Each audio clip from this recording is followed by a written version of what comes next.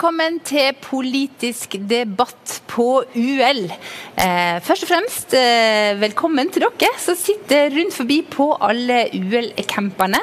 I Oslo, i Hamar, Fredrikstad, i Kviteseid i Telemark, på Klepp, på Ogna og på Finnøy eh, her i Rogaland. Går vi litt lenger nordover, så vet vi at dere er i, på Setervika i Samnanger på Osterøy, på Hafslo i Sogn og i Ålesund. Eh, I tillegg så er det jo mange som ellers òg kan følge streamen rundt i det ganske land.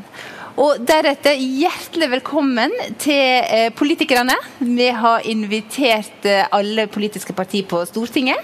Mange kunne komme, ikke alle. Men hjertelig velkommen til Hadia Tajik. Nestleder i Arbeiderpartiet, stortingsrepresentant og nå listetopp i Rogaland til Mathilde Tybring-Gjedde fra Høyre. Eh, stortingsrepresentant og femtekandidat på nesten helt sikker plass i, i Oslo. Eh, Dag Inge Ulstein fra KrF. Utviklingsminister. Har akkurat uh, tidligere i dag hatt bibeltime her. Uh, KrF, ja. Og listetopp i Hordaland. Til uh, Lisa Marie. Ness, nei, nå hoppet jeg over. Våren Synnes fra MDG fylkesleder eh, for Grønn Ungdom og tredjekandidat her i Rogaland. Til Lisa Marie Næss Klungland fra Senterpartiet. Fylkesleder i Senterungdommen og andrekandidat her i Rogaland. Og helt til på ytterste venstre fløy, eh, Matheo Norheim fra Rødt. Eh, leder av Kristent nettverk i Rødt og fjerdekandidat her i Rogaland. Velkommen til Kongeparken, alle sammen. Eh, først må jeg høre med dere. Dere har jo tatt en uh, lørdag i juli uh, for å være her. Men hvor henne i landet har dere vært på ferie i sommer? Hadia Tajik, hvor har du vært? Jeg har vært i heimkommunen min i Strand. Der har mannen min og meg funnet oss ei hytte som er leie. Så det har vært meg og han, og så den sju måneder gamle babyen vår. Vi har kost oss veldig. Så nydelig. Mathilde Tybing-Gjedde, henne har du tilbrakt ferien her? Jeg har vært eh, på Nordfjordeid, der min mor er fra, og besøkt mormor. Jeg er så heldig som fremdeles har besteforeldre som lever og har det godt. Så vi har vært med henne i noen uker. Mm. Eh, Dag Inge Ulstein, du er jo sunnmøring, men eh, har ja. du vært på Sunnmøre? Du, det har jeg absolutt, og i Romsdalen faktisk. Det har vært en annerledes sommer da, for oss som for alle andre. Men eh, mamma ble 75, så vi reiste sammen som familie til, uh, til, gården der hun vokste opp. Så det er kanskje høydepunktet. Telt og fjelltur med, med ungene. Så har jo ikke pandemien tatt ferie, så det har vært mye arbeid rundt det. Eh, og det er jo sikkert noe vi kan snakke mer om etter hvert, men en annerledes sommer har det vært. Nettopp. Eh, våren, hvor har du tilbrakt eh, ferien? Jeg har vært eh, på telttur på Vestlandet, så det har vært eh, mye telt eh, og regn. Og så har jeg vært på hytta i Sirdalen. Mm. Hytta i Sirdalen, det er nok ja. mange nordlendinger som kjenner igjen denne formen. ja, det er nok det. Lise Marie Klungland, du da? Jeg har gjort det, det samme som stort sett alle andre i Norge. Jeg har vært hjemme og jobba. Og så har jeg vært på det blide Sørlandet. Og eh, Matheo Norheim, eh, henne har du eh, henta kreft i sommer?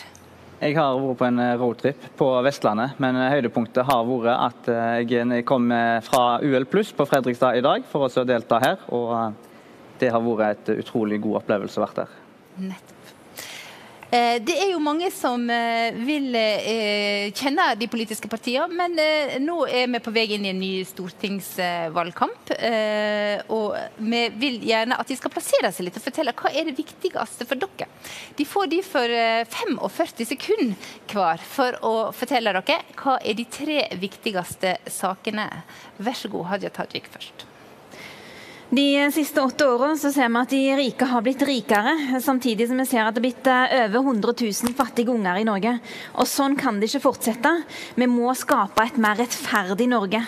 Og Da kommer Arbeiderpartiet til å prioritere helt vanlige familier sin hverdag, ikke skattekutt til de rikeste, sånn som nå. Vi kommer til å sørge for at alle har en eh, jobb å gå til med en lønn å leve av. Og For ungdommene så betyr det bl.a.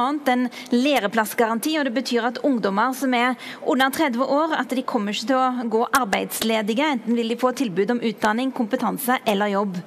Vi kommer til å sørge for eh, mer satsing på velferd. Det betyr eh, gratis fastlege til alle som er under 18. Det betyr òg gratis psykisk helsehjelp til de som er under 25. Og det betyr en bemanningsnorm på skolehelsetjenesten, sånn at du vet at du kommer til å få hjelp hvis du trenger det når du går på videregående skole. Og så kommer vi til å prioritere det å kutte klimautslipp og skape arbeidsplasser. Det er viktig å få ned utslippene, men òg å gjøre det på en måte som trygger jobbene til folk og skaper verdier for framtida. Takk skal du ha. Det var tre fra Arbeiderpartiet. Eh, Høyre, eh, Mathilde Tybring-Gjedde. Høyres eh, viktigste sak er å skape et samfunn med muligheter for alle. Og Det handler om to ting. Det handler om å inkludere flere mennesker som i dag har falt utenfor, inn i arbeidsliv, utdanning, i gode fellesskap. Og særlig unge. Vi må få ned ventetidene for å få hjelp til psykisk helseutfordringer. Vi må sikre at unge som falt ut av videregående, får oppfølging av Nav raskt og kommer inn i arbeid. Og vi må også sikre at vi har en skole, ikke minst, som faktisk er tilpassa at elever er ulike og trenger ulik type undervisning. Det andre vi må gjøre i årene fremover, det er å nå ambisiøse klimamål. Vi skal kutte utslipp samtidig som vi skal skape grønne, nye jobber og fortsatt utvikling. Da må det faktisk være dyrere å forurense, men bedriftene må også ha råd til å investere grønt. Og så må vi satse på nye næringer, slik at det faktisk er arbeidsplasser også for fremtidige generasjoner. Hvis vi vil ha et samfunn som skaper mulighet for alle, hvor man har flere, mer verdier, men også inkluderer flere, ja, da er Høyre riktig parti. Det var Høyre. KrF, Dagen Gullstein, hva er deres tre viktigste? Tusen takk. Overskriften for eh, valgkampen vår det er 'menneskeverd i sentrum'. og Allerede der så skiller Kristelig Folkeparti seg fra de andre. Det berører på mange måter grunnleggende fundament for det å ha et godt samfunn. Om vi snakker om valgfrihet for familiene um, Den viktigste kall byggesteinen eller hjørnesteinen i samfunnet vårt. Um, det å styrke familien, ikke styre familien. Eller om vi snakker om trosfrihet, toleranse, det å kunne stå opp for noe. Det er rommet for å kunne mene noe, selv om ikke det er det flertallet mener. Vi så det i vår, når det var snakk om liberalisering av abortloven. Dessverre som et altfor godt eksempel på nettopp det, hvor viktig KrFs stemme er. Et annet viktig ord for oss det er forvalteransvar. Og som jeg fortalte mye om tidligere i dag også på, på morgenmøtet, verdensnød, det ansvaret vi har for å få mer rettferdighet for verdens fattige. og Ikke minst nå når vi ser de dramatiske konsekvensene som pandemien har medført. Dobling av antall mennesker som lever med sult. Menneskehandel, folk som blir skubba ut i fattigdom. Også klima. Klimaeffekten, det som rammer de aller mest sårbare i lavinntektslandene allerede, tar liv, levebrød, gjør det ulevelig allerede, driver folk på flukt. Så vi har et ansvar. Så Derfor er dette et verdivalg. Og hva er de verdiene du ønsker skal være med å prege landet vårt videre? Jeg håper at du ønsker å gi Kristelig Folkeparti innflytelse også de neste åra. For trosfriheten, for valgfriheten og også med menneskeverdet i sentrum. Takk til deg. Eh, det var KrF. Eh, da går vi til våre synes, eh, Miljøpartiet De Grønne, MDG. Takk. Klimakrisen er den største krisen i vår tid. Og det å ta vare på miljøet, det handler om respekt for livet. Og så handler det om å ta ansvar for den naturen som vi mennesker har fått i oppgave å ta vare på. Men ikke minst så handler det om nestekjærlighet og medmenneskelighet. For det er faktisk hjemmene til våre medmennesker som allerede forsvinner under havet. Og det er barna til våre medmennesker som allerede dør av tørke pga av klimakrisen. Og nå har vi allerede hørt fine ord fra både regjeringen og Arbeiderpartiet om eh, klimakrisen, men realiteten er at de ikke har løfta en lillefinger for å kutte utslipp, noen av de. Og det er ikke å styre med ansvar og nestekjærlighet, det er å styre med egoisme. Jeg stiller til valg for MDG fordi klimaet kan ikke vente. Tusen takk til MDG. Eh, vi går videre til Lisa Marie Næss Klungland. Senterpartiet, hva er deres tre viktigste saker? Takk. Det skal være godt å bo i Norge. Vi skal ha levende bygder, tettplasser og bydeler. Vi skal ha tjenester nær folk, og nær folk det er stikkordet til Senterpartiet. Vi ønsker et Norge med små forskjeller. Et trygt og forutsigbart arbeidsliv der vi vet hva som kommer inn på konto hver eneste måned. Gode velferdsordninger som kontantstøtte og barnetrygd er viktige for at vi skal kunne leve det livet vi ønsker. Vi vil bruke naturressursene til å skape arbeidsplasser over hele landet. Vi skal ha en aktiv landbrukspolitikk som sikrer oss trygg, god norsk mat. Sånn at vi kan bo på heimplassen vår, på utdanningsplassen vår eller en helt annen plass. Senterpartiet vil ha et levende lokalsamfunn overalt.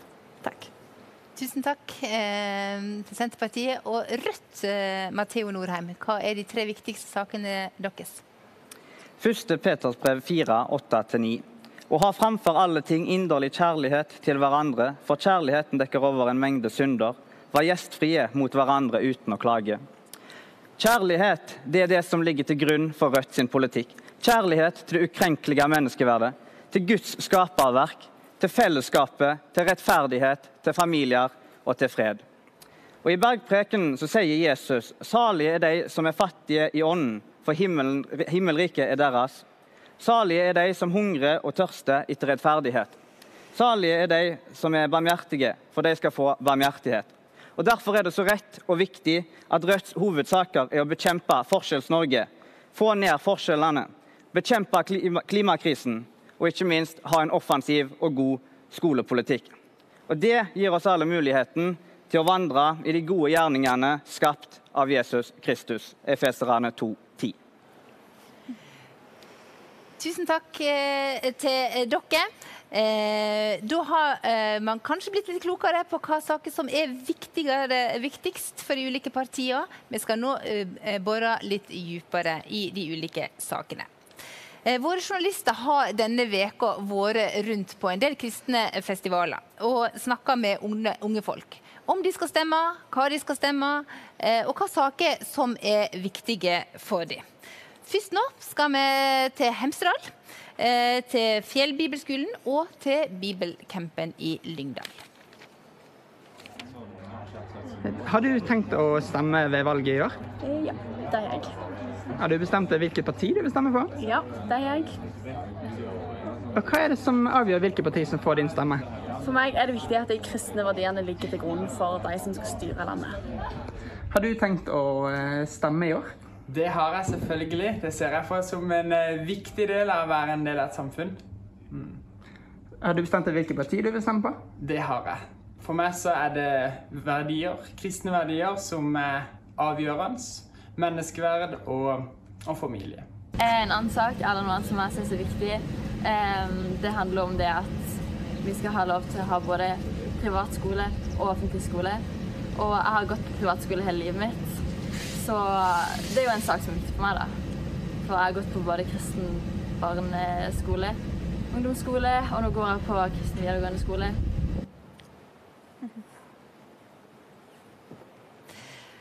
Haja Tajik. Eh, privatskoler eh, kaller noen det. Friskoler eh, kaller andre det. Det har blitt eh, flere av de, og flere elever de siste åra går på privatskoler eller friskoler. Du skriver om dette i eh, boka di, eh, 'Frihet'. Da reiser du og besøker den skolen, Tryggheim, som er kommet på Tau i din heimkommune.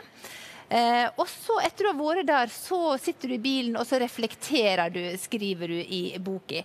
Og Da eh, tenker du at skolen har kommet som en reaksjon på samfunnsendringer.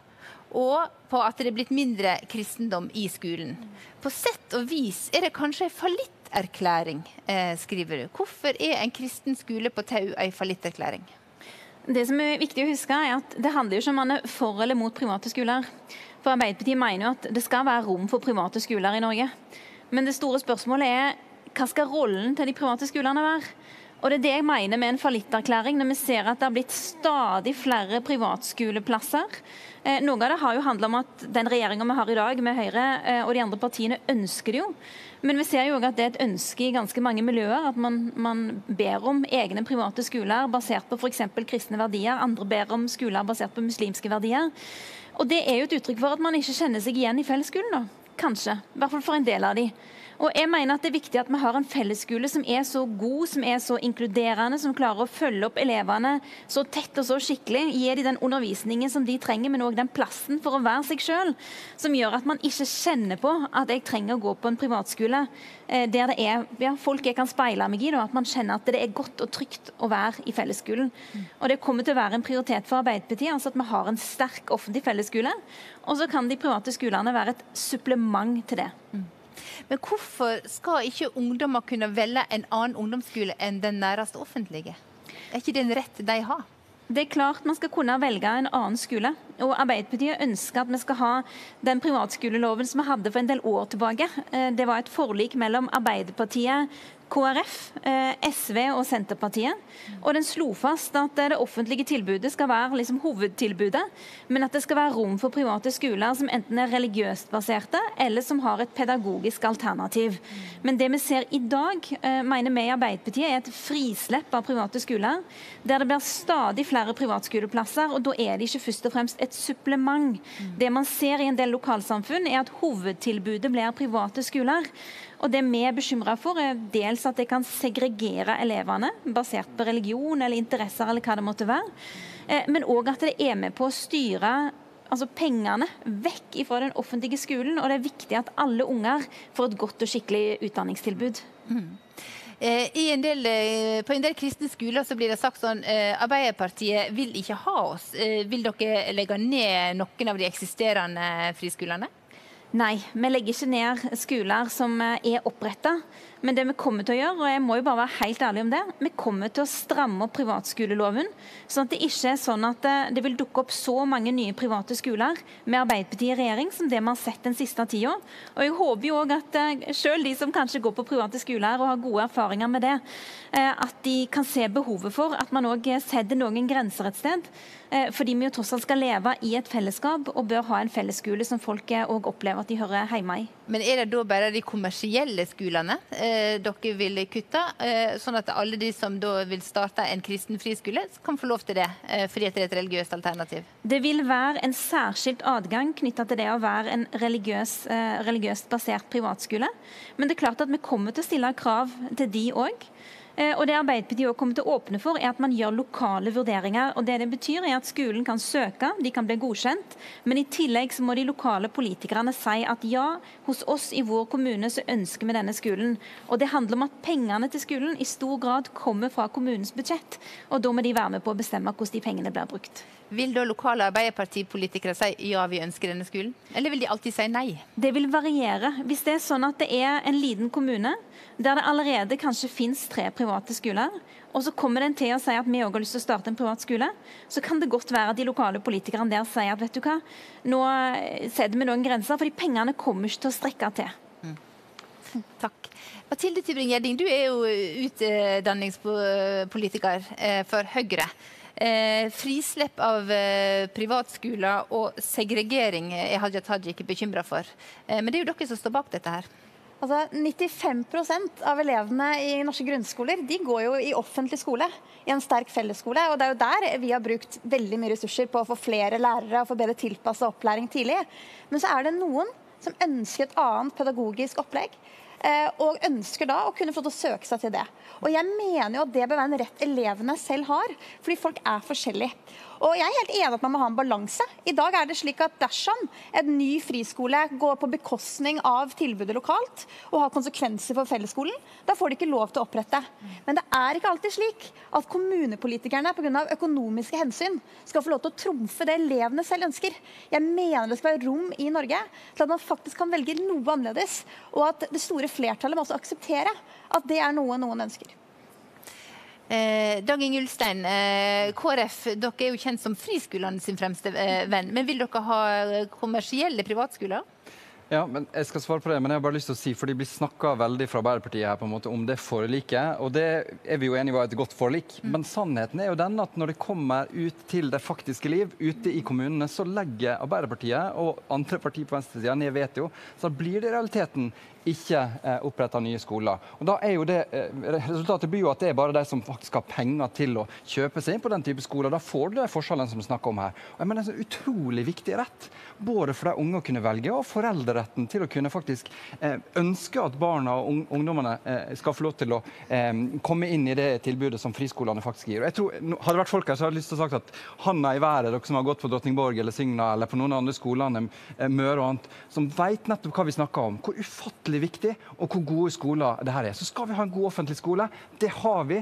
Og jeg mener på mange måter at det vi hører fra Arbeiderpartiet, er jo mistillit til både de private friskolene, men også til det offentlige. Det her har fungert godt.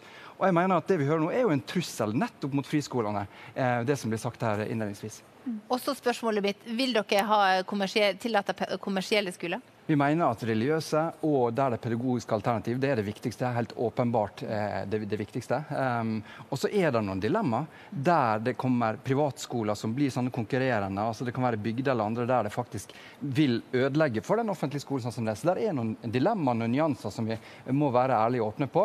Men vi ønsker selvfølgelig at vi skal styrke både gjennom investeringstilskudd og gi, eh, dekke de spesialpedagogiske eh, kostnadene som de skolene har, og styrke de skolene og det tilbudet. Mm. Det er viktig for KrF.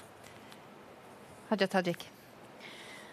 Vi har jo ulikt politisk utgangspunkt i denne saken, og det tenker jeg er en ærlig sak. Eh, jeg syns det er bra at Kristi Folkeparti erkjenner at det er noen dilemmaer her, og jeg skulle gjerne hørt hva Kristi Folkeparti tenker om nettopp det. At hvis man åpner stadig mer opp for flere private skoler, f.eks. basert på religion, så risikerer man jo òg at det blir stadig flere muslimske skoler der alle de muslimske ungene går. Jeg er muslimsk, muslim sjøl, og jeg må innrømme at jeg er bekymra for en sånn utvikling. Jeg tror ikke det vil være heldig verken for de ungene eller for oss som fellesskap. Eller at det dukker opp flere jødiske skoler eller andre, religioner, altså andre religioners eh, altså, eh, skoler. Hva det gjør med vår kunnskap og vårt utgangspunkt hver enkelt som elev.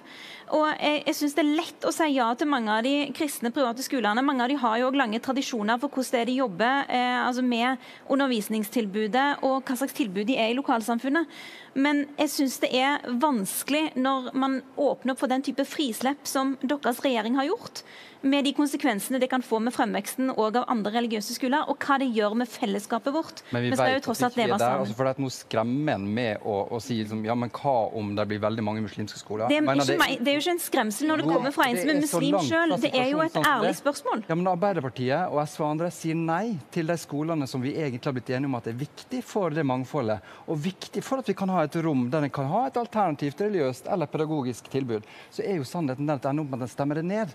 Og da kan ikke en skremme med at et eller annet bilde litt lenger framme hvis det er liksom for mange ja. muslimske skoler. For ja, det da, er ikke poenget. Takk, takk. Og da får uh, Mathilde Tybring-Gjedde for uh, siste replikk. Ja, bare for å få måte, avklart det. Altså, det har vært søknader om også muslimske skoler, men nettopp fordi man i lovverket sier at man gir avslag dersom det kan ha alvorlige konsekvenser for fellesskolen, så kan man gi avslag på det. Så det er jo ikke en enorm frislipp. Det man har gjort, er å sikre at det kan være noen flere pedagogiske tilbud på noen ulike friskoler, enten det er Montessori eller også religiøse eh, friskoler. Og jeg mener jo helt oppriktig at Hvis man ender opp der Arbeiderpartiet vil, at kommunene kan ha vetorett Det som skjer da, er at øyeblikket foreldre eller elever ikke er fornøyd med sin skole og kanskje ønsker å søke seg et annet tilbud, så kan kommunen, fordi de ikke vil eh, egentlig forbedre skolen de har ansvar for, nekte dem det. Da flytter man makten til politikerne, man flytter ikke makten til elevene. Dette kunne vi snakka mye mer om, men takk for klargjørende runde. Apropos religiøse skoler, eh, så skal vi snakke om det som faktisk er veldig religiøse skoler, nemlig bibelskoler. Eh, etter videregående så er det mange som eh, vurderer om de skal ta et år på folkehøgskole eller på bibelskole. Eh, det er rundt 20 godkjente bibelskoler i landet med opp mot 1000 elever. Forskjellen er hvis du går på folkehøgskole, så får du to opptakspoeng til, til du kan ta med deg inn i høyere utdanning. Går du på bibelskole, så får du ikke det. Eh, for fire år siden så var vi òg her på UL Debatt eh, og snakket om dette. Eh, da var, sa alle partier var enten åpne for eller positive til at òg bibelskoler får to poeng. Etter det så eh, har, la KrF inn et spørsmål i Stortinget. Det er nå en offentlig utredning eh, om opptakssystemet eh, til, til, høyere utdanning. Og der er jo en av de spørsmålene skal skal man få to poeng for å gå på bibelskole. Nå tar jeg et spørsmål til alle i salen, og det er ja-nei. Vær så god. Hadia Tajik, to poeng til bibelskole, ja eller nei? Det, vi har vært med på å be om den utredningen, så vi er åpne for å gi bibelskolene tilleggspoeng. Åpne for Mathilde Tybring-Gjedde, Høyre.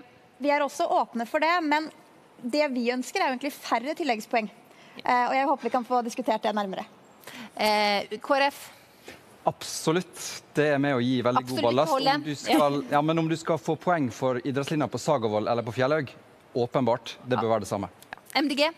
Ja, Vi er også veldig åpne for det, og det er veldig viktig å verne om den typen annerledesår, da, der folk kan få utfolde seg innenfor det som er viktig for dem. Senterpartiet? Ja. Eh, Rødt? Altså Det forslaget som KrF la inn, der stemte jo alle. Eh, Det var et enstemmig vedtak om utredning. Og eh, jeg har sjekka med Mimir Kristiansson, førstekandidat i Rogaland, at eh, det er noe vi i Rødt vil gå inn for. Nettopp. Da skal vi møtes igjen om fire år eller før, eh, og vi får se hvordan dette går. Eh, vi har altså vært rundt på en del eh, forskjellige kristne festivaler. Eh, og eh, vi har òg fått inn to spørsmål eh, som politikerne ikke aner hva er. Eh, vi setter over til eh, Setervika i eh, Samnanger. Der har vi spørsmål. Skal du stemme med årets valg? Ja, det skal jeg. Hvilke saker er det du engasjerer deg i? Det siste året så har jeg jobba i koronatelefonen i Bergen. Eh, Så jeg lurer på hva politikerne tenker om det problemet at ca. 1% i Afrika er vaksinert. Så lite som 1% Hva tenker politikerne å gjøre med det? Det var vel en lissepasning eh, til utviklingsministeren. Hva gjør du med at det bare er 1 Du er veldig glad for at en får det spørsmålet, og veldig mange som er engasjert for det. Um, så er det dessverre slik at det er helt riktig at det er en enorm ubalanse mellom veldig mange av de rike landene og mange lavinntektsland, og ikke minst eh, en del afrikanske land, afrikanske kontinenter, som, som er det som har eh, færrest vaksiner. Norge har vært av de landene som har engasjert seg mest i å få en mer rettferdig fordeling. Vi har investert av de som har bidratt mest når det gjelder penger per innbygger. Vi har også donert vaksine. Eh, senest i går kom det eh, til Uganda og Nicaragua vaksine som har vært våre vaksiner her. Eh, og vi har vært med å lede det arbeidet. Men jeg skulle veldig gjerne ønske at vi har kommet mye mye lenger. Så vi må fortsette å holde det trykket oppe, investere videre og, og sørge for at det både blir gitt oppmerksomhet og at vi kan få med oss andre land til å bidra. Så Vi har bl.a. lagd en sånn byrdefordelingsmodell som på en måte viser hvor mye midler hvert enkelt land skal bistå med. Og nå handler det om å begynne å dele vaksiner Mm. eh, av de vaksinene som vi allerede har tilgjengelig. Våren Sinnes, MDG. Ja, jeg synes dette, veldig, dette problemet peker på et veldig sånn stort og gjennomgående problem. Da, som er at Når det virkelig gjelder, så blir det ofte sånn at de rikeste landene står seg sjøl nærmest. Og Jeg vet at, eller jeg har fått med meg at dere på leirene har snakka en del om sånn globalt ansvar eh, i løpet av denne uka. her. Eh, og Det er jo nettopp det som er så utrolig viktig, enten om det gjelder koronavaksiner, om det gjelder klimakrisen, at rike land som har de ressursene, eh, må hjelpe de som, eh, som har det vanskeligere ute i verden. Da. Og Vi i MDG vil øke bistanden nettopp pga. sånne ting som dette her. Eh, for at man kan ja, hjelpe i kriser, enten om det er korona. Og det er nettopp derfor det er så viktig å kutte klimagassutslipp. Da, fordi det handler om det samme. At det gjør verden farligere og vanskeligere for de som har det verst. Eh, og ja, det er derfor det er liksom en veldig viktig oppfordring da, til de store partiene òg, som vil kutte i, i, i bistand, som ikke, vil, eh, som ikke vil kutte i klimagassutslippene. At det er helt feil vei å gå da, som et rikt land som Vi, Norge. ja, vi kommer tilbake også til klima. Eh, vi tar neste spørsmål fra Setervika. Skal du stemme med årets valg? Ja, det skal jeg. Hvilke saker er det du er engasjert i? Jeg jobber på skole som lærer, så jeg er engasjert i skole og utdanning. Har du noen spørsmål til politikerne? Ja, jeg eh, lurer på hva politikerne har tenkt å gjøre med den fryktede lærermangelen som vi kan stå overfor om noen år. Den fryktede lærermangelen. Eh, Matheo Norheim, Rødt. Ja, eh, jeg jobber jo som eh, lærer sjøl, og er veldig engasjert i dette. Skolepolitikken er tingene jeg brenner mest for. og Sannheten er jo egentlig at vi ikke har lærermangel i Norge. Det er bare at vi mister de som er ansatt som lærere, fordi at de er under et for stort press hele veien. Det er for mye byråkrati i skolen. Det er for mye altså, tid vekk fra elevene. Så vi må gi den tida til lærerne, at de kan være ute med elevene og gjøre det de faktisk har lyst til å gjøre, nemlig være der for elevene. Og så er det jo én ting til som er ekstremt viktig, og det er det firerkravet som, som regjeringen har ført inn. Det gjør at flinke lærere ikke kan bli lærere i dag. Firerkravet, altså at man må ha minst fire i matte for å kunne få komme inn på Ja, lærerutdanningen. ikke riktig. Og Ja. det, er- det er fryktelig for det, Jeg hadde ikke kommet inn på lærerstudiet i dag. Men jeg vil jo påstå at jeg, eh, jeg gjør i hvert fall det godt, så godt jeg kan som lærer. Og jeg tror at, eh, at måte, du trenger ikke en firer i matte for å bli en god lærer i eh, KRLE eller i eh, norsk. Og det, det er et sånn krav som på en måte styrker den krisen da, som regjeringen er nødt til å ta tak i. Rødt vil ha mindre byråkrati for lærerne og stryke firerkravet. Eh, Haja Tajik, hvordan vil Arbeiderpartiet løse lærermangelen? Altså, Vi trenger flere lærere. Da må de eh, altså, kunne ta lærerutdanning, og de må ikke minst kunne ansettes. Så noe av det som må til er at Vi må sørge for at kommunene har økonomi til å ansette flere lærere. Vi må sørge for at det er flere studieplasser tilgjengelig. Og i vårt alternative budsjett, sånn som hvis Arbeiderpartiet hadde styrt nå, så ville det for 2021 betydd eh, 1000 flere ansatte lærere. Det ville òg betydd 3 milliarder kroner mer til, eh, til kommunene. Og det ville betydd nesten 3000 nye studieplasser totalt, der en del av de òg ville gått til lærerutdanning. Og vi er helt eh, enig i at man burde fjerne firerkravet i matematikk for å kunne ta lærerutdanning. Fordi det er klart, skal du undervise i norsk, så må du kunne norsk. Skal du undervise i matte, så må du kunne matte. Skal du undervise i samfunnsfag, så er det det du må kunne. Eh, Men man må fokusere altså på det som lærerne skal utdanne og undervise eh, ungene våre i. Eh, Mathilde Tybring, det er veldig bra at vi har deg her, for du er vel personlig ansvarlig for det firerkravet, mer eller mindre. Hvorfor må man ha fire for å komme inn på utdanning, og mister dere mange lærere? Jeg skulle ønske du først begynte med å si at, er, at jeg er personlig ansvarlig for at vi nå har 4500 flere kvalifiserte lærere i norsk skole. Fordi det er jo faktisk tolv år siden det var like mange kvalifiserte lærere per elev. Så det har vært et kraftig løft sammen med KrF i, i regjering. Eh, men så er det spørsmål om ikke bare eh, hvor mange kommer inn på lærerutdanningen, men hvor mange fullfører lærerutdanningen. Og det vi har sett er at etter at vi innførte karakter 4 i p-matte, så har eh, gjennomføringen på lærerutdanningen gått kraftig opp. Så vi utdanner langt flere. Og tidligere så var det mange som kanskje begynte opp, begynte, men som strøk på matematikkeksamen. Så jeg mener vi må ha to tanker i hodet samtidig. Vi skal ha flere lærere, men vi må ikke senke ambisjonene våre for at lærerne skal være faglig oppdatert eller ha grunnleggende matematisk forståelse. Og det er ikke nødvendigvis slik at en gjennomsnittskarakter er like rettferdig. Altså, tenk hvis du har en dårlig gymkarakter, og så kommer du ikke inn på lærerutdanningen. Det er ikke noe som tilsier at det er mer rettferdig enn at man har grunnleggende matematisk forståelse. Men nå snakker du om kvaliteten på lærerne. Hvordan skal dere få flere lærere? Som spørsmålet var. Jeg mener jo at det henger sammen. Eh, Det henger sammen at du har god lærerutdanning, sånn at det motiverer eh, de som er studenter til å faktisk jobbe som lærere. Eh, Det henger sammen med at man får muligheten til videreutdanning, opplever at det er et status å være lærer, at du ikke er ferdigutdanna som 22-23-åring. Eh, Men så er det også veldig viktig at man har konkrete tiltak for å ha god veiledning av nyansatte lærere. At man sletter studiegjelden til lærer- lærere som underviser der hvor det er vanskelig å rekruttere. Det er to konkrete tiltak. Vi setter punktum der, så ikke mye mer å si. Nå skal vi videre til neste tema. Eh, Klima er en av de store eh, temaene eh, i både Norge og internasjonalt. Og vi har allerede toucha innom det. Ikke minst for den eh, unge generasjonen er det en avgjørende eh, for partivalget eh, for mange. Nå tar jeg først en runde i panelet her, og jeg ber dere nummerere. Hvor viktig er klima for, for ditt parti på en skala fra 1 til 10, der 10 er viktigst? Hvor viktig er klima for Arbeiderpartiet? Altså, Det er en av våre tre viktigste saker. Ok, Så mellom sju og ti en plass? Nei, det jeg sier vi har tre helt sentrale saker. Ja. og der er klima en av de tre likestilt viktige. Det er arbeid, det er velferd, og så er det klima. Høyre? Det er en eh, klar tier, fordi klima henger sammen med arbeid og velferd. Nettopp. KrF? Når, vi, når jeg starta, så var det et av de sakene jeg tok opp. Og jeg mener det henger så tett sammen når vi snakker både om menneskeverd, forvalteransvar og nestekjærlighet. Og, st- og skalaen, hvor henne plasserer vi oss fra 1 til 10? Ja, det er det, sammen med de viktigste sakene på topp. Ja. MDG? Ja, Klima er helt klart nummer ti. Og så er det jo interessant at alle sier at det er nummer ti, men ikke gjør så mye med det, da. Så det får vi se på i debatten. Senterpartiet? Senterpartiet har alltid stått på for de som forvalter naturen. Eh, og det er det, mest, det beste klima- og miljøtiltaket vi har, så det er en tier. Eh, Rødt? Klima det er klassekamp, og Rødt tar Forskjells-Norge som en overordna sak. Og innunder det så kommer rettferdig miljøpolitikk som en klar tier.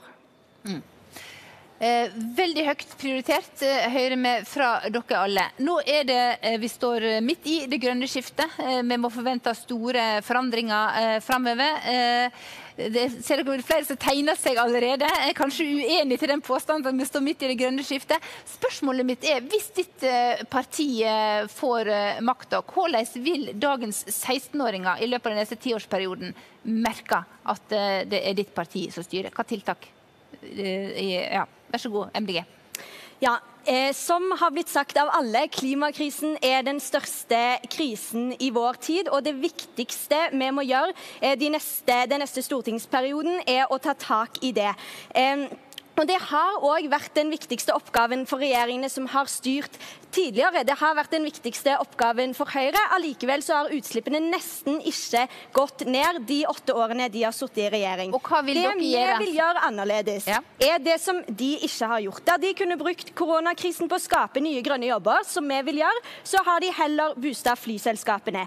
Istedenfor å bygge oljeplattformer, så vil vi bygge fornybar energi. Istedenfor å øke kollektivprisene, så vil vi kutte de. Eh, Istedenfor å bygge motorvei, så vil vi bygge tog. Det er egentlig en ganske enkel oppskrift, men det er jo ikke så rart at utslippene går ned når politikerne ikke engang prøver. Eh, her må dere som sitter i posisjon eh, svare. Dere prøver ikke engang. Eh, Mathilde Tybring-Gjedde. Utslippene har nå gått ned fem år på rad. Det er de laveste utslippene siden 1990-tallet. Men tempoet må kraftig opp de neste årene. Det er det ingen tvil om. Eh, Det er noe av det viktigste vi gjør for å sikre velferd og økonomi, og ikke minst eh, gode fellesskap også i årene fremover. Nå har dere styrt i åtte år. De neste ti åra, hvordan vil man merke klimatiltakene? Altså jeg vil kanskje nevne de viktigste tiltakene som folk vil merke. Det ene er at det kommer til å øh, være dyrere å forurense. Altså vi kommer til å øke CO2-avgiften, slik at det er flere som investerer grønt. Og det, er mer, det skal være mer eh, lettere og billigere å ta kollektivtransport enn å velge andre alternativer. Nummer to, når dagens 16-åringer går ut i arbeidslivet, så kommer det til å være andre næringer, både som bygges på skuldrene av de næringene vi har, men også nye næringer.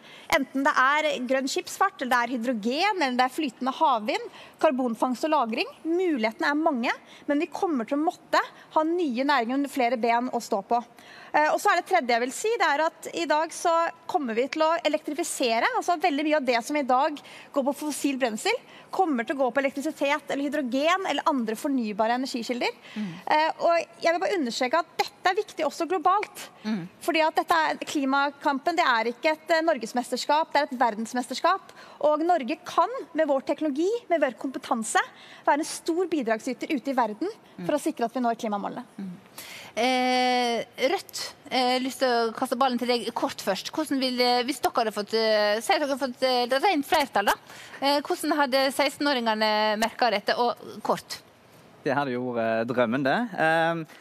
Jeg, jeg har lyst til å ta én faktaopplysning som er veldig veldig kort. og det er når, når Mathilde sier at det norske klimautslipp går ned, så er jo det feil. fordi at en del av norske utslipp de blir jo sendt til andre land og står på andre land sine Ja, vi går ikke inn i den debatten, men hvordan vil eh, 16-åringene merke Rødts eh, klimatiltak? Nei, altså, her handler det om å satse på kollektivtransport. Det er jo én ting. Bygge mer tog. Eh, kutte flytrafikken mellom de store byene. Få tog til å gå mellom der, sånn at en kan reise klimavennlig. En skal stoppe å lete etter olje. Vi merker at vi ikke skal slutte å produsere helt ennå. Men vi, skal, vi må slutte å lete etter olje. Og så er vi opptatt av å få ned luksusforbruket til den rike eliten. Og Det er viktige tiltak som vil få ned klimautslippene ganske kraftig. Vi er nødt til å høre eh, Arbeiderpartiet, eh, fremste opposisjonsparti sammen med Senterpartiet. Hva er, hvordan vil 16-åringene merke deres eh, klimatiltak? Det er særlig på to områder der vi skiller oss fra høyrepartiene. Altså det ene er det som handler om at vi vil at klimapolitikken skal være rettferdig. Så når eh, Mathilde Tybring-Gjedde sier at avgiftene skal opp på det som handler om å forurense, så er vi enige i at det må koste mer å forurense, men vi lover òg at ingen avgifter går opp uten at andre avgifter går ned. Eller at man får eh, skattekutt direkte inn i sin egen lommebok, sånn at man, får, man ikke havner i en situasjon der vanlige folk må ta regninga for at Norge skal bli mer klimavennlig. Den regninga må fellesskapet ta. Den andre måten vi skiller oss fra Høyre på, det er at vi ønsker en mye mer aktiv stat. Eh, jeg vil si at Det er også en viktig forskjell med Rødt, som jo sier at de ikke ønsker å gjøre mer for oljeindustrien. Altså Olja er viktig for Norge. Det jobber masse folk i olja. De har en enorm kompetanse. Men det vi i Arbeiderpartiet vil, er at staten skal være aktiv i at de som jobber i den bransjen i dag, at de skal få nye jobber innenfor fornybare industrier. Mm. Det er grunnen til at vi gir f.eks. 1 milliard kroner til Statkraft. Mm. Og så sier vi at dere må gjøre eh, en industri ut av hydrogen. Det vil være mye mer framtidsretta for en, eh, en, del av de arbeidsfolka som kanskje i dag jobber innenfor olje, gass og leverandørindustri. Dette kunne vi snakka mye mer om. Jeg har bare lyst til å gå tilbake til deg, eh, Våren Sinnes fra MDG. Eh, høres ikke dette veldig flott ut? Det blir lina opp med gode tiltak for det som er deres viktigste sak? Ja, det er jo nettopp, men det er det som er problemet. At det er sånn det har vært i år etter år etter år. At politikerne står før valget og gir fine løfter, og så går ikke utslippene ned. Eh, og Det er jo eh, fint at folk snakker fint, men det som gjelder er hva de faktisk gjør. Eh, og det, eh, det, regjeringen har gjort, og Arbeiderpartiet òg, er å stemme ned hvert eneste klimatiltak vi har foreslått i Stortinget. Vi har foreslått å avvikle oljeindustrien og bygge grønne jobber. De har stemt imot. Vi har foreslått å bygge havvindmøller som kan gi milliarder til staten staten. De har stemt imot. Vi har foreslått billigere og raskere buss. Vi har foreslått å redusere flytrafikken. Vi har foreslått nattog til Berlin og Paris og København, men de har stemt imot. Og Da er det ikke så rart at ingenting skjer. Dette handler om liv og hjem for milliarder av mennesker eh, rundt om i verden. Det handler om ansvaret for naturen, og det er det på tide at det nå blir tatt. Jeg må bare gi eh, ordet til deg, Ulstein. Du har bedt om ordet flere ganger her. Eh, jeg vil bare at du skal svare på én ting. Eh, ingenting skjer. Kjenner du deg igjen i det? Du, det er jo utrolig bra at vi er enige, men sannheten er jo den at det har gått for sakte. Det er ikke tvil om det. Det er 5 millioner CO2-ekvivalenter som det heter, de siste ti åra. Og vi må altså ned med 25 millioner tonn de neste ti fram mot 2030. Men vi har gjort utrolig mye, og det skjer kjempemye. Det siste vi gjorde, var faktisk å, å, å bestemme 10 milliard i et klimafond nå i sommer, som handler nettopp om å være med og fortrenge kull. Noe av det viktigste som, som er for å få ned CO2-avtrykket, som kanskje kan generere så mye som 100 milliarder eh, totalt. Så det er enorme grep som tas. Det grønne skatteskiftet, det er veldig mye som har skjedd på transport. Det så, så, det er i hvert fall sikkert. Takk. Takk til dere. Voldsomt engasjement. Heldigvis, eh, dette temaet finnes det veldig mye om eh, eh på nett eh, i alle politiske debatter, så det er mye å kunne hente.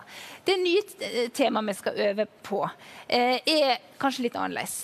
Eh, for ehm, vi i eh, Dagen har eh, gjort en kartlegging av de som går jevnlig til gudstjeneste i landet. Og en av de spørsmålene vi har stilt, er om det er vanskelig å være kristen i dagens samfunn. Og vi skal da til Grimstad, der vi får neste video ifra. Syns du det er vanskelig å være kristen i dag? Eh, til tider så syns jeg det kan være krevende i et samfunn som på mange måter er på vei vekk eh, fra det som kan knyttes til kristen tro. Eh, og jeg har ofte kjent på det som utfordrende eh, i en hverdag der jeg går på en skole med ikke så mange kristne. Eh, personlig så syns jeg ikke det er veldig vanskelig å være kristen. Og det tror jeg har noe med den relasjonen jeg har med Jesus, og at det er jo et veldig personlig og nært forhold. Hva tenker du er spesielt utfordrende? Det er vel kanskje det at kulturen generelt er, er så um, forskjellig og ulik fra det som mange kristne identifiserer seg med. Og det å skulle stå opp for noe som kanskje nå er en minoritet i Norge, kan være krevende. Uh, om det gjelder spørsmål om seksualitet, uh, andre etiske spørsmål uh, og identitet, så tror jeg at det er kanskje temaer som er enda mer splittende i dag, og der vi kristne er i mindretall. Jeg skjønner jo at det kan være utfordrende med alle eh, på en måte fordommene folk har mot kristne i Norge i dag, eh, og Vesten sånn generelt. At det er liksom litt tabu å være religiøs sånn generelt. Det å si at man er kristen er det noe du, noe du gjør når du er ute blant venner, eller? Ja, det er veldig viktig for meg å gjøre det tydelig. I den undersøkelsen i kartleggingen vi dagen gjorde, så var det 27 eh, av alle som svarte at de syntes det var nokså eller veldig vanskelig å være kristen i samfunnet i dag. Så har vi gått inn og sett på aldersgruppa 18 30, og der viser det seg at, det seg at 49 eh, sier det samme. Altså nesten halvparten. Eh, vi hører her at eh, ungdommer forteller at de blir utsatt for fordommer, det er tabu, og dette, de opplever dette krevende. Eh, hva sier dere politikere når dere hører dette her? Haja Tajik. Jeg syns det er veldig leit å høre. For det er klart at Hvis man opplever at man ikke kan være seg sjøl, mm. eh, og at man må legge begrensninger på seg sjøl for å kunne bli forstått sånn som man ønsker, så har man det jo ikke godt. Mm. Og jeg mener at det, altså det, er en viktig oppgave for oss politikere at vi ikke bidrar til de fordommene som kan finnes mot minoriteter, mm. eller kan finnes mot kristne eller andre troende. Eh, og at vi er med på å skape fellesskap i Norge og felles offentlige rom der man opplever at det er helt greit å ha en tro og ha en religiøs, religiøs overbevisning. Mm. Altså, eh, Blir du overraska når du hører, hører dette? Egentlig ikke, men det handler kanskje om at jeg selv kommer fra en liten plass der det var mye kristne ungdommer rundt meg, og en del av de kunne fortelle noe av det samme. Og så kan det hende at vi har noen fellestrekk her, for jeg er jo muslim selv. Mm. Eh, og noen ganger så merker jeg at eh, for enkelte av de jeg treffer, mm. så er det akkurat som religionen min skygger for budskapet. De hører ikke engang hva jeg sier, de, fordi de tenker bare muslim, muslim, muslim. Mm. Og det er ikke en veldig ålreit situasjon å være i. Så jeg skjønner godt at det er mange ungdommer som syns at det er krevende. Så du, du tenker du at og kristne opplever det samme, at når man treffer noen som er kristne, så, så skygger det så for budskap og det de har på hjertet? Det er i hvert fall venner av meg som forteller akkurat det. At eh, de venter med å fortelle at de er altså, eh, troende kristne. At de mm. går i kirka eller har et aktivt forhold til troen sin mm. fordi de opplever at de blir satt i bås. Sånn at Først så skal du bli kjent med det menneskelige, og så kan du kanskje senere i samtalen eller senere i det som etter hvert blir et vennskap, få høre at de har en tro. Og Jeg syns det er forferdelig leit at man ikke opplever mm. eh, at man kan være 100 seg sjøl i møte med nye mennesker. Det, sånn skal det ikke være. Eh, Lisa Marie Næss Klungland fra Senterpartiet, hva tenker du når du hører dette? Jeg syns det er tøft å høre at det er noen som ikke føler at de hører hjemme i samfunnet vårt. Eh, men det er, mange, det er, mange, som har det sånn. Mm. Og Derfor er det viktig for oss politikere at vi legger til rette for at det, det finnes møteplasser. Eh, det finnes ungdomsklubber. Eh, og Senterpartiet blir kåra til Frivillighetspartiet. Vi er veldig glad i frivillighet. og det er viktig at på de møteplassene så er det gode forbilder som kan eh, møte ungdommene på en god måte. Mm, mm. Eh, og jeg, selv så, jeg skal ikke påberope meg å være et uh, godt forbilde, men jeg har jo gått på Lundaneset. Eh, og Lundaneset har vært en, en god skole eh, til å bidra i samfunnet rundt om. Eh, vi har reist ut og vært konfirmasjonsledere og vært på de, de lokale lokale um, ungdomsklubbene, som er et veldig fint, uh, fint tiltak. Mm. Lundanes er altså en eh, internatskole, eh, allmennfaglig internatskole i nå må du hjelpe meg, Ølen? Ja. Jeg er så redd for å feile Ølen og Etne her. Eller Ølensvåg, da. Ølensvåg, ja. ja. Du nevnte et uh, stikkord som er vårt neste tema, nemlig ungdomsklubb. Um, det er en konkret sak på Klepp, ikke langt herifra. Eh, som har vært ganske stor i vår. For der har de lokale politikerne eh, ønska å endre retningslinjene for økonomisk støtte. Slik at den eh, kristne ungdomsklubben på bedehuset skal miste den kommunale støtten, var forslaget til de nye retningslinjene. Fordi at de som er homofile parforhold, ikke kan være ledere der. Eh, spørsmålet eh, til dere. Bør man eh, få kommunal støtte? Den kristne ungdomsklubben på Klepp få kommunal støtte? MDG? Ja, jeg har jo fått med meg at dette har blitt en veldig sånn stor og betent sak. Men jeg syns egentlig at det er greit at en kommune setter noen eh, grenser for hvem de skal dele ut offentlige midler til, og hva slags, ja, hva slags ungdomsklubber de skal på en måte betale for. da. Eh, og at det blir litt sånn falskt premiss at dette handler om å på en måte strupe religionsfrihet eller sånn, fordi det er jo ingenting som skal forbys, men det handler om hva, hva skal det offentlige bygge opp. på en måte da.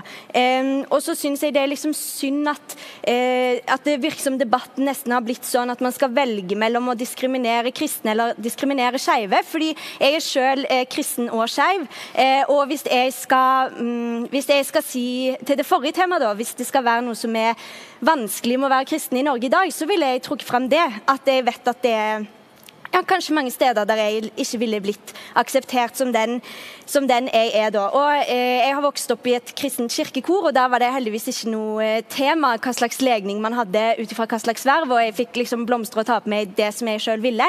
Men jeg vet at mange har eh, andre opplevelser andre steder, og kanskje sitter igjen med ganske dype sår. Mm. Så dette handler ikke om å ta fra noen retten til å eh, eh, tro at noen type samlivsformer eh, Ja, man kan få tro hva man vil, det er ikke det, men det handler om eh, hva slags penger det offentlige skal gå til. Og da mener jeg det, at det er greit å si at det skal gå til, til klubber som inkluderer alle. Eh, ja, for KrF eh, har jo engasjert seg i denne saken og mener at selvfølgelig skal man ha kommunal støtte, men har jo et poeng her at det må jo politikerne få lov å bestemme sjøl hva de skal, støtte? Altså, poenget er for et enormt paradoks da, at vi liker å tro at eh, det har blitt et mer åpnere samfunn, og, og, der toleransen er større. For jeg tror jo at det er nettopp da vi ikke skal innskrenke den retten. Um, og jeg må jo si at Det er jo et enormt paradoks at Senterpartiet her sier liksom at vi, vi, ønsker å være med og tilrettelegge. Jeg tror ikke uh, de på Klepp tenker liksom at dere burde vunnet en pris for uh, tilrettelegging. i hvert fall. Det er nettopp det å si at en tror feil eller mener feil, og derfor skal ikke en få den støtta sånn som det er inne på her. Og Derfor er det så viktig. Mm. Uh, og Jeg håper jo at vi klarer å legge til rette for et samfunn der det blir mer naturlig å snakke om tro og det å ha en religiøs overbevisning mm. og kunne diskutere uten at du liksom lager den ramma for hva som skal være riktig tro eller riktig mening og at det skal på en måte få en sånn direkte innvirkning på, på den støtta som en får. Så, så, det har vært viktig for KrF um, å ha det rommet og sikre det rommet ja. i, eh, i, i, um, i, samfunnet vårt. Arbeiderpartiet, skal man ha kommunal støtte man, til en klubb der man uh, ikke kan ha uh, de som lever i homofile parforhold i styret? Altså Arbeiderpartiet sitt prinsipielle syn er jo at stiller du opp med offentlige penger, så er det helt uh, innafor å òg si at uh, med disse pengene så følger det med noen krav og forventninger. Mm. Uh, og det å stille krav til likebehandling òg når det gjelder folk med en annen seksuell legning, eller hvem det er de lever sammen med, mm. det mener vi er innafor noe som kommunene kan bestemme. Mm. Og sånn som jeg forstår det i denne Klepp-saken, så er disse forslagene altså til endringer i, i retningslinjer de er nå ute på høring erfaring. Mm. Det betyr at Hvis folk er uenig i det, så kan de òg ta til motmæle. Og det må være en del av den helhetsvurderingen som, eh, som Klepp kommune gjør. Mm.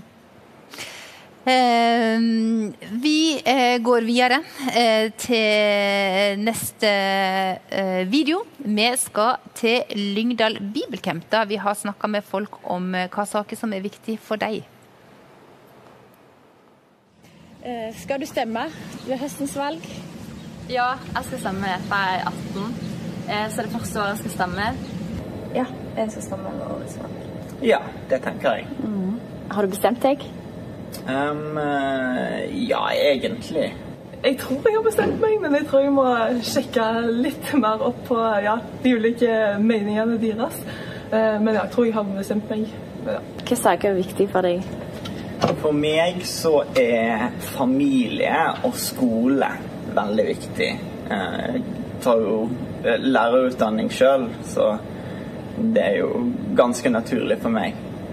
For meg så er det viktig med ja, menneskeverd og likestilling, at folk blir behandla rettferdig uansett eh, eh, funksjonsevne og etnisitet og alt det der. Mm. Og så er det òg viktig for meg at eh, partiet som jeg kommer til å stemme på, har vært stabil i sine verdier og meninger. At de ikke bare viker med vinden. Jeg er veldig opptatt av menneskeverd, at alle er like mye verdt, og at alle får den hjelpa de trenger. En sak som er veldig viktig for meg, det er abort. Um, for det handler om menneskeliv, og noe som jeg syns er veldig viktig. Abort har blitt et stort tema eh, de siste par åra, etter å ha vært et nesten ikke-tema i mange år. Eh, det har vært oppe på de fleste politiske landsmøtene, eh, og mange har endra eh, programpunkt om, eh, der man ser på hvor langt eh, hva grensa for selvbestemt abort skal være. Og mange av de eh, partiene er her. Eh. Jeg tar en eh, liten runde. Kan du si hva er deres standpunkt, og kort hvorfor, før vi går til en avslutning? Hadia Tajik, hva mener Arbeiderpartiet om abort? Vi mener jo at eh, langt på vei så er det jo kvinnen sjøl som må bestemme, fordi det er hennes kropp. Men dette har vært en vanskelig diskusjon hos oss. Eh, vi har jo foreslått å eh, altså fjerne abortnemndene mellom uke 12 og uke 18. Eh, men eh, det som også har vært viktig for oss, er at kvinnene skal ikke bli stående alene fordi man fjerner disse nemndene. Eh, de må få medisinsk hjelp og veiledning og støtte i den krevende situasjonen som de er i. Hva er forskjell på det og nemnde? Eh, når du går til nemnd, så er det nemnden som tar beslutningen om om du får innvilga abort eller ikke. Mens når du fjerner nemndene, så er det kvinnen sjøl som bestemmer, men hun vil kunne få råd og veiledning på veien. Mm. Men det er viktig for oss å få aborttallene ned. Det har vi foreslått på Stortinget at regjeringen lager en plan for. Altså at man kutter uh, aborttallene med nesten en tredjedel de neste ti åra. Da handler det bl.a. om en bedre, uh, altså bedre seksualundervisning, mm. men òg en rekke andre tiltak. Det er et forslag som vi ikke har fått gjennomslag for så langt, men jeg håper jo at det går an å samarbeide om det. Så selvbestemt abort til uke 18 eh, ja. for Arbeiderpartiet. Og der går det en grense for oss. Og så er det Høyre. Selvbestemt abort til uke til uke 12, altså dagens eh, grense. og Det skyldes jo nettopp at abortloven det er en veldig skjør og vanskelig etisk avveining mellom fosterets rettigheter og kvinners rett til å bestemme over egen kropp. Ja. Og Det har vært en skjør balanse over, over, mange år. Eh, og Jeg er bekymra for den retningen det nå ser, hvor man ser ut som man sklir ut den. Altså SV som vil ha nesten abort frem til levedyktighet til uke 22. Mm. Uh, og Det mener jeg er feil vei å gå. Takk. KrF? Det er jo de enorme paradokser som blir satt ord på her. Da, der en kan redde foster tidligere og tidligere, der det er både medisinsk teknologi og utvikling og dyktig helsepersonell som, som gjør det. Eh, og Samtidig så er det en kamp for å få fri abort tidligere. Og Derfor så trenger en et sterkt parti sånn som KrF som står opp for det. Og Nå er situasjonen der at det handler om å sikre at ikke en svekker det rettsvernet. Og Hva er det dere vil ha? Ja, Vi jobber alt vi kan for å sørge for at ikke en svekker rettsvernet for, eh, for det ufødte liv. Og dere vil ha dagens abortlov? Ja, Vi jobber for å ja. Gjøre alt vi kan for å ikke at den blir blir endra sånn som det ligger. MDG, hva vil dere? Mm, ja, Vi vil eh, samme som Arbeiderpartiet å fjerne nemndene fram til uke 18. Mm. Eh, og Det er jo, som har blitt sagt, en veldig vanskelig moralsk avveining mellom et begynnende liv og kvinners rett til selvbestemmelse. Men det som jeg syns er viktig å understreke, da, er at det, det er i praksis så vil ikke det være så veldig stor endring, fordi 90% av de som søker om å få eh, abort mellom uke 12 og uke 18, får det i dag. Så det handler på en måte her om at eh, den praksisen med nemnder oppleves ganske nedverdigende for mange kvinner i en sårbar situasjon. Takk. Ja, så, man, ja. så, uke 18 for eh, MDG. Ja. ja. Og Senterpartiet? Ja, Senterpartiet ønsker å beholde dagens lovgivning, og vi kommer til å jobbe for at vi skal beholde det. Så enkelt er det. Ja. Eh, og Rødt? Det er jo litt løye, da, for at eh, her har jo på en måte KrF skjøtt seg selv i foten og først prøvd å stramme inn. Og så eh, går det galne veien. Så det, De kan jo egentlig takke seg selv for det. Det som Rødt har gått inn for, er at så lenge abort er lov i Norge, så er det nødt til å være selvbestemt. Den myndigheten må kvinner få. Så dere har uke 22? Det står uke 22, men da vil jeg bare si en ting om, om ja, men, men det er uke, Rødt har uke 22? Ja, det stemmer. Selvbestemt abort til ja, uke Ja, det stemmer.